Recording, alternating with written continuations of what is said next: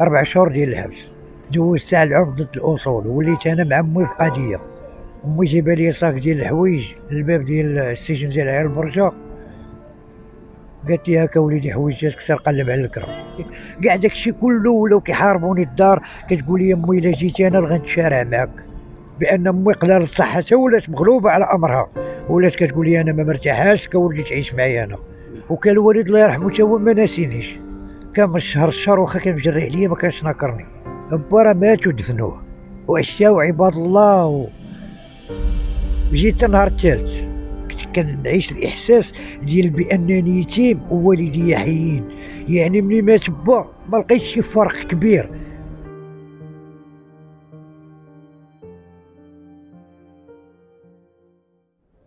هذا خوك من دمك ولحمك؟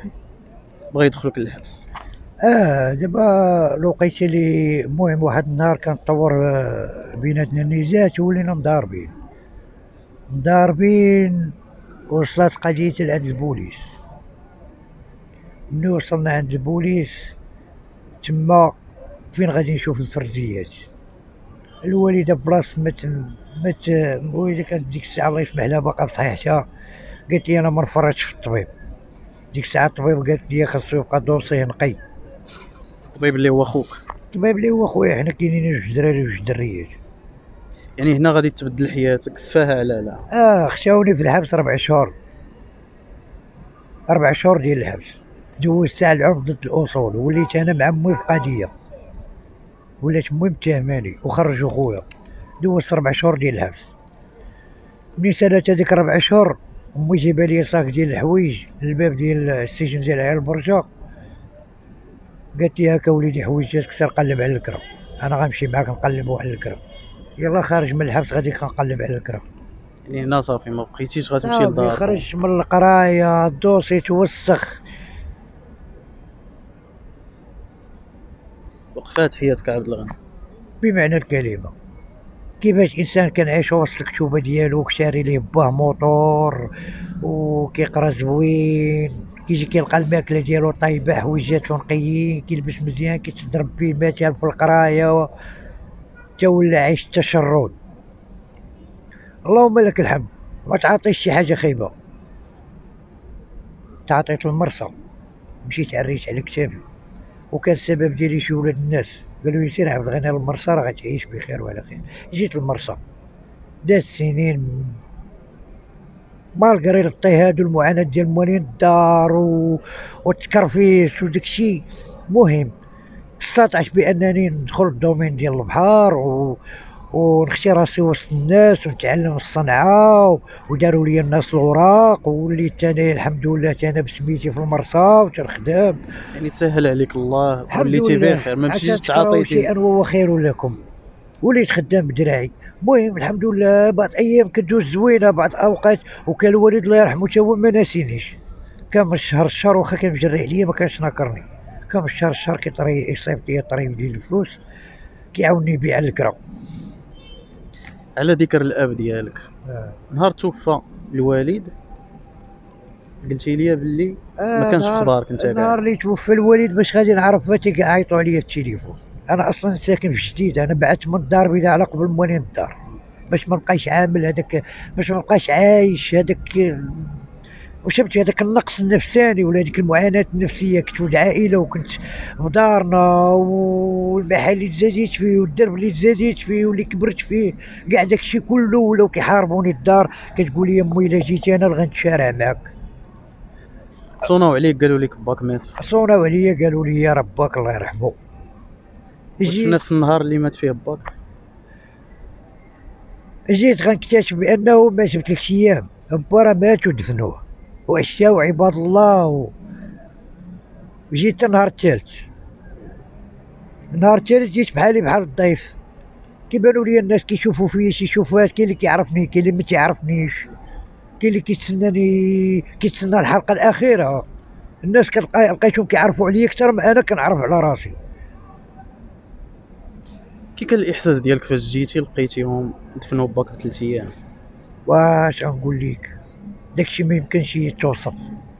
أنت ضايع في بواك اللي أصلا أنت ضايع فيه هذه 20 عام. أنا كيف ما سبق وقلت لك أنا كنعيش الإحساس ديال بانني يتيم ووالدي حيين يعني ملي مات با ما لقيتش شي فرق كبير. الفرق اللي كان هو ما ما بقاش نريح مع واحد ملي كنت كنتوحش با كنعيط عليه.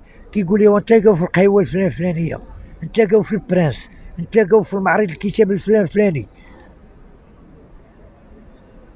جيت باقي مصدوم باقي ما بكيتش على با داني نسيبي نشوف القبر ديالو في الروضة. تمينا جايين. قال لي نسيبي راجل أختي الصغيرة.